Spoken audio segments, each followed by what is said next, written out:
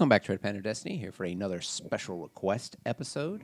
Um, the uh, highest rated song of what, 2000 and, 2009, uh, according to RateYourMusic.com, which happens to be All I Need by Radiohead. Um, part of a Radiohead double feature, um, though I'm not sure when the next episode will come out because we have to get through the rest of 2008 in the 1001 book, which might be a little while. Uh, I think there's like five or six at least, maybe more.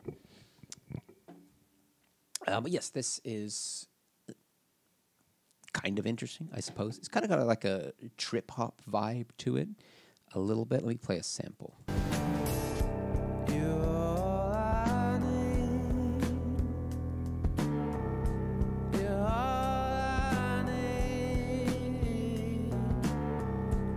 I do kind of like that very subtle use of the piano. The down down. That's just all it's doing is two notes, just down down, off in the background.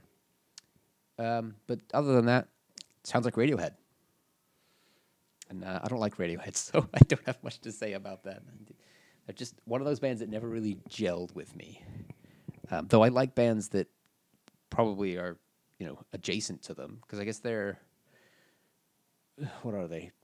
I guess progressive, alternative, Britpop adjacent ish thing.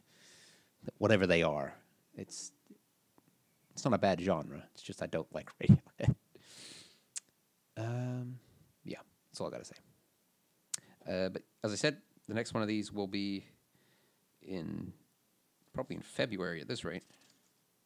Looks like February, somewhere in February, for Radiohead's Reckoner. See you then.